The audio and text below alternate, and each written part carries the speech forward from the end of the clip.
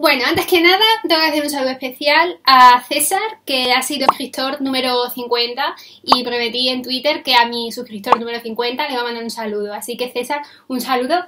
¡Mua! César es este muchacho tan guapo que veis por aquí. y empezamos con el vídeo de esta semana, que hoy vengo a hablaros de, bueno, ya sabéis que últimamente los vampiros es como que se han cargado un poco el género, ¿no? Lo han explotado tanto el género de vampiros que ha perdido calidad, ¿no? Pero hoy os vengo a recomendar cosas de vampiros que sí que merecen la pena y como consumidora mmm, del género de vampiros os puedo decir que mi palabra es 100% fiable porque he consumido género de vampiros desde que soy adolescente, o sea, desde mis 14-15 años llevo viendo cosas de vampiros y sé un poco del tema. Así que las, las, cosas que os voy a comentar y las cosas que os voy a recomendar eh, estoy segura de que os va a gustar. Así que empezamos el vídeo. La primera cosa que os tengo que recomendar es entrevista con el vampiro. De todo lo que pueda haber en el universo de vampiros, esto para mi gusto es lo mejor. No solo la primera película o no solo el primer libro, entrevista con el vampiro como tal, sino toda la saga. O sea, eh, Lestat es uno de los mejores vampiros que se ha creado en la ficción. Me parece un vampiro cojonudo porque mantiene un poco mmm, toda la naturaleza del vampiro, ¿no? Todo ese terror que inspiran los vampiros, todo ese me como, me como a los humanos, me veo la sangre, etcétera. Y son terroríficos, pero no dejan de ser unos vampiros súper perfectos, súper bellos y súper atractivos. Entonces, me parece cojonudísimo. Me gusta mucho la novela, pero a la gente que no le gusta leer, recomiendo 100% la película. Puede que sea una de las pocas adaptaciones que se han hecho bien en la historia del cine. Está muy bien adaptada supongo en parte porque Anne Reid se, se encargó de, de, llevar ese guion y se nota muchísimo, muchísimo que, que, ese guion está llevado por la autora de la novela. Hay cosas calcadas del libro, eh, está muy bien cuidada la película, tanto los vestuarios como la caracterización de cada personaje, etcétera, está muy, muy bien hecha. Ojalá una segunda parte, porque por supuesto no cuento La Reina de los Condenados como segunda parte de Entrevista con el Vampiro, porque es, es que me parece un insulto a la saga. Pero ojalá algún día hagan una segunda parte con Tom Cruise como, le, como Lestat, con Brad Pitt, como Louis. No va a haber un mejor Lestat ya que, Tom Cruise. Es totalmente imposible. Así que por favor, clamo al cielo, por favor, suplico a los guionistas de Hollywood que rescaten esa maravilla porque merece ser rescatada. La segunda cosa de la que os vengo a hablar es otra película y se llama Lo que hacemos en las sombras. Es una película independiente, no sé si finlandesa o noruega, sé que es una película escandinava. La película es una de las mejores cosas que yo he encontrado en internet por mí misma en años. me acuerdo que vi el póster y dije, yo esta maravilla la tengo que ver. Y le di una oportunidad y la vi, me acuerdo que en noruego con subtítulos en inglés o algo así. Me pareció una película cojonudísima. O sea, fue una comedia, pero es una comedia de las que lloras de risa viéndola. Glad you were great. You put out the recycling, which was really cool. And the other day, I dragged the man's body down the hallway and noticed that there was no dust. Like I kind of, I kind of swept the hallway. Vladislav is just like this older vampire who grew up in the medieval times and, you know, to be living this long and to have seen the things that he's seen and still, like, kind of have it together. I mean, hats off to him. Bloody hell! Sorry. He's a really great guy, a bit of a pervert. He has things. We should get some slaves. Quite tyrannical. I was known for uh, torturing a lot of people. Known as Vladislav the Poker. El argumento principal es un grupo de vampiros, creo que son cinco, no me acuerdo si son cinco o son cuatro, comparten piso y se tienen que adaptar un poco a lo que es la vida moderna, ¿no? teniendo en cuenta que cada vampiro es de una edad distinta. Hay un vampiro súper super arcaico, hay un vampiro más moderno, hay un vampiro intermedio como del siglo XVIII y todos ellos se tienen que llevar bien y compartir piso. Una película cojonuda de tener escenas de llorar de risa. O sea, es una de mis películas favoritas del género vampiros y del género comedia. Es que yo he llorado de risa viendo esa película y os la recomiendo 100% que la veáis. Por favor, dadme una oportunidad. De hecho, creo que ya está doblada al castellano y es una joya esa película. Os la recomiendo muchísimo. La tercera cosa de la que vengo a hablar es una serie que seguro que la conocéis es la serie más famosa que hay de vampiros, es True Blood, una serie HBO que tiene 8 temporadas. Es cojonuda. O sea, yo me acuerdo de empezar a ver True Blood cuando yo tenía 10 17, 18 años y comerme los libros literalmente porque es cojonuda esa saga. Sí que es verdad que a medida que avanzan se les va yendo un poco la olla, ¿no? Y ya van metiendo cosas que dices, mm, ¿por qué meten esto? Y engloba a todo el mundo fantástico, no solo vampiros, también hay hombres lobo, hadas, metamorfos, o sea, hay muchísimo, muchísima fauna ahí dentro. Es, es una serie graciosa a ratos, una serie muy así con escenas muy sexuales, porque es de HBO, ¿no? Y todo lo que hay en HBO es así. Y aunque dicen que es una serie un poco enfocada a mujeres, o sea, a las mujeres, mmm, discrepo mucho con eso.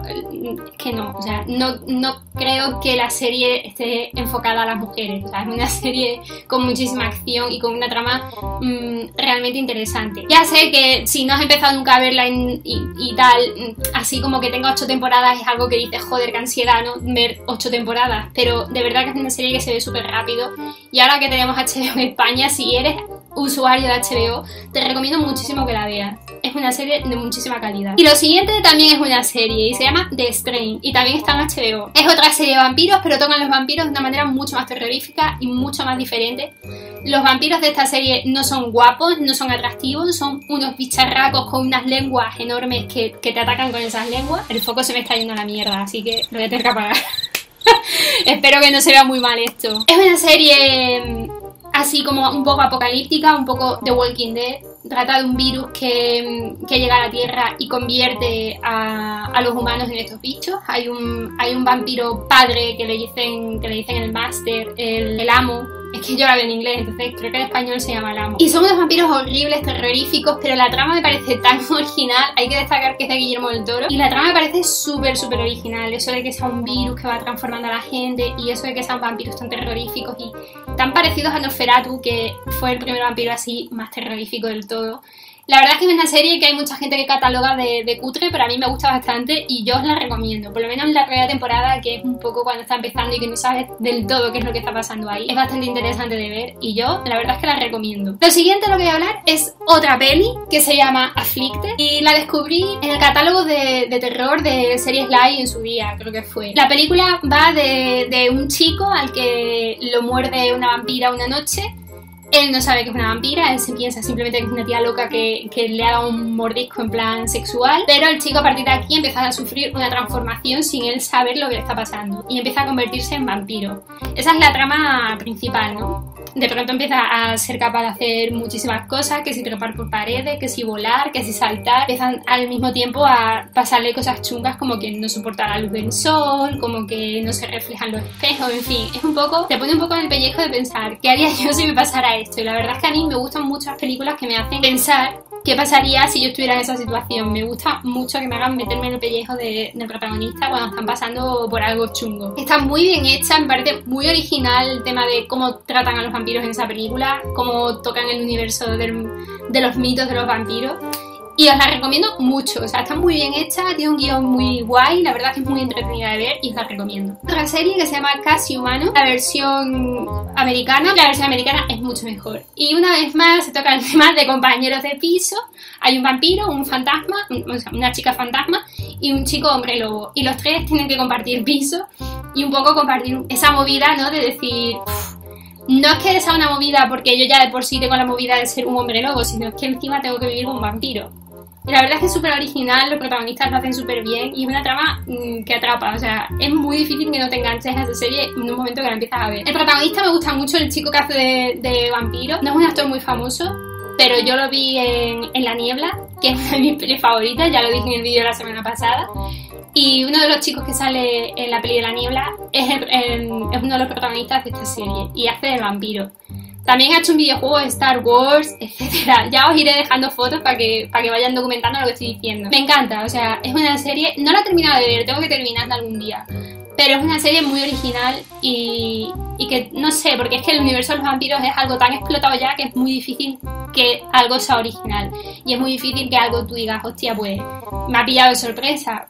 Eso pasa muy pocas veces, ¿no? En el género de vampiro. Y me ha pasado muy pocas veces. Me ha pasado con lo que hacemos en las sombras y con poco más, ¿no? Bueno, sí, sí, que me ha pasado un poco con todo lo que os estoy recomendando, que por eso os lo recomiendo, ¿no? Porque de todo lo que hay es lo que destaca. Así que, mmm, si tenéis oportunidad de ver Casi Humano, vedla. Lo último lo que tengo que hablar, y tengo que hablar porque realmente en el género vampiro esto tiene que estar presente, es la peli de Drácula de, de Coppola y la novela de, de Bram Stoker y la serie, porque hay una serie de Drácula, por si no lo sabéis. Lo que pasa es que se canceló.